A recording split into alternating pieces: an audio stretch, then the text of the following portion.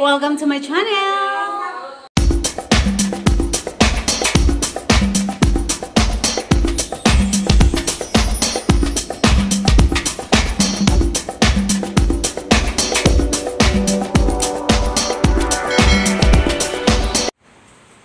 Hello, good morning! This is Eden Auditor. Guys, nagbabalik na naman ako kasi gusto kong i-share sa inyo ang aking nalalaman. Diba, ang first tutorial ko is about kung paano itago ang subscriber count ng iyong channel. Ngayon naman guys, is isa-share ko po sa inyo kung paano naman mas gumanda pa ang iyong video. Okay? Ganito po yun guys.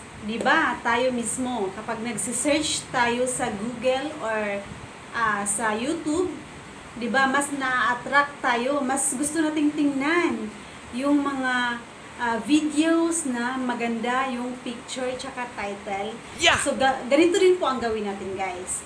So, mas pagandahin pa natin ang ating video through sa paglalagay ng magandang thumbnail. Okay? Yan guys, ituturo ko po sa inyo kung, di ba, ngayon, kunyari, meron na kayong uploads, pero yung, yung ano, hindi mo siya nalagyan ng, ano, ng picture. So guys, it's your chance na mas gumanda pa ang iyong video. Ituturo ko po sa inyo. So guys, ah, bago natin mapalitan ng ah, magandang picture ang iyong video is dapat po meron ka ng ah, picture na inihanda. So ituturo ko sa inyo kung paano. Pumunta ka sa Chrome. Ayan. So, ang naisip kong palitan ng picture, eh, lagyan ng picture is yung sa fruits ko na video. So, search tayo ng rambutan. Ayan na siya. So, i-click mo lang ang picture na gusto mo, guys. Yan, i-click mo lang yan siya. O, nasaan na tayo? I-click mo lang ang picture, then i-download mo siya. So, naka-download na yan siya. So, open. Okay? So, matic na yan, guys. Nando na yan sa iyong gallery. So, ngayon naman, nakasave na yan siya. Gusto nyo, um, lagyan natin siya ng ah, title. Title, no? So, punta tayo. May PixArt ako. Ayan. So, maglagay tayo ng text doon sa picture ng rambutan. Okay. So, plus, yan, pindutin lang yan guys kasi hindi ako nag-subscribe kay PixArt. So, ayan. Pindutin ang picture na gusto mong lagyan ng text. Ayan si, ano. Okay, X lang yan. Okay, so dito guys, pwede kang mamili kung anong gusto mong gawin dyan.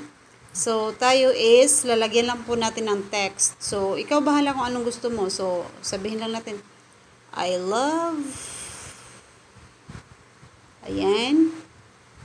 Ikaw bahala kung anong gusto mong i-ano.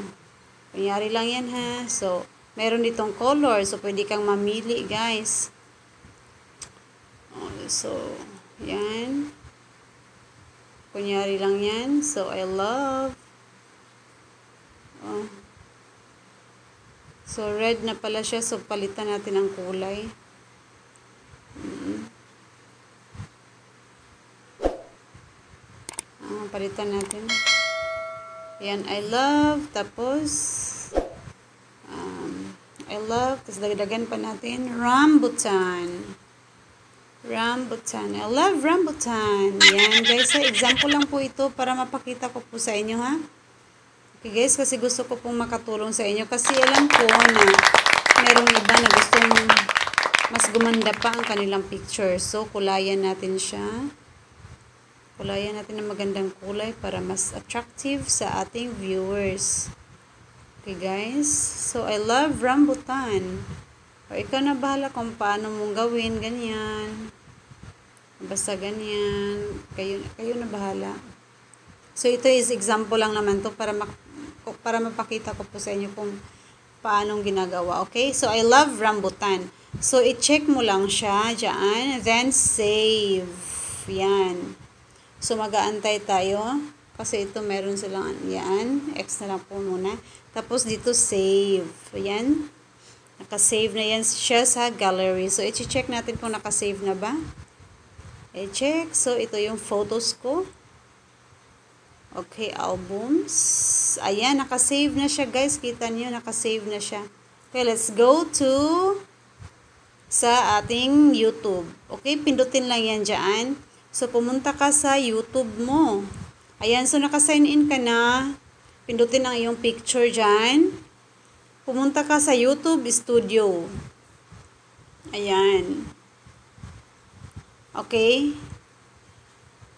So, ibalik ko ha. Ibalik ko. Ayan.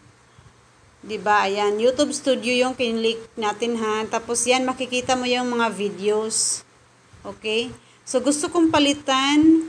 Ayan, kita mo mostly is meron na yung ano thumbnail. So meron pa ako dito mga videos na wala pang ano thumbnail. So yung sa rambutan yung papalitan natin kasi yun na yung ano pinrepare natin na picture. So, nasaan na dito yung rambutan?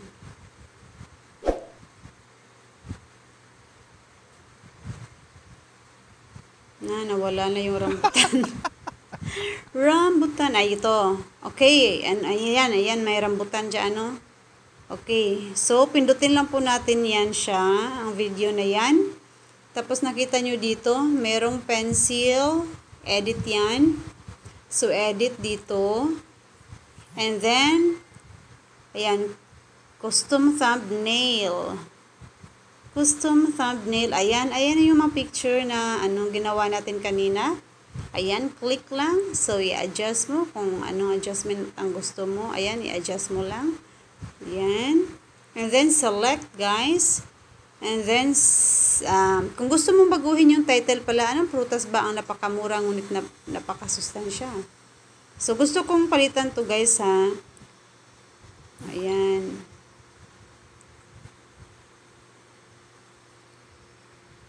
So, palitan natin yan guys ha.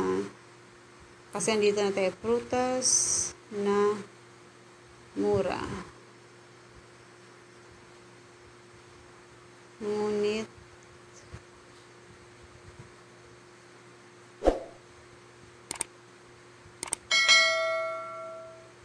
napaka napaka sus tan siya. Ayan. So, nabago na natin ang title at yung kaniyang thumbnail, nalagay na natin. So, click save. Save, guys. Okay? Ayan na. Ayan na, guys. Yan yan siya. Ganyan lang po kadali, guys. Ang gumawa ng thumbnail.